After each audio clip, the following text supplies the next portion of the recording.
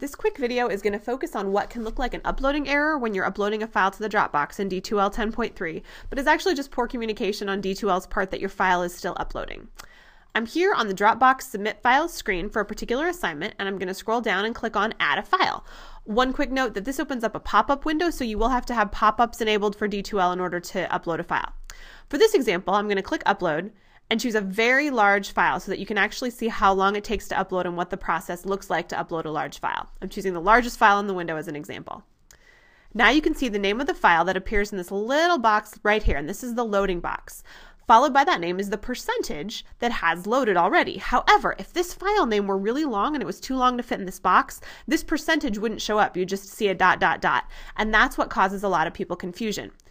If I were to try to click the add button right now before the file had completely loaded, D2L is going to give me an error message, which could be very per confusing, particularly if I hadn't seen this percentage and didn't realize my file was still loading.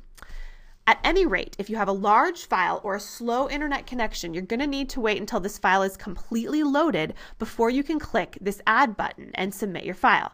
Because this file is so large, I'm now going to skip ahead to 95% for this video, tell you how long it took, and show you what the process will look like when this file is actually ready to be uploaded.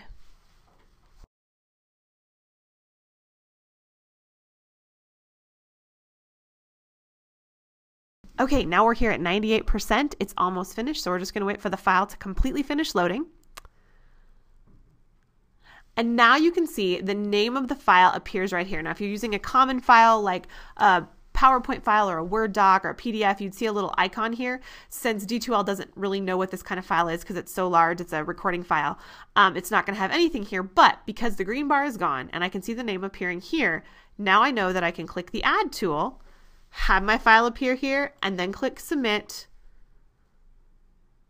Again, it may take just a little bit of time, but now it has been successfully submitted to the Dropbox.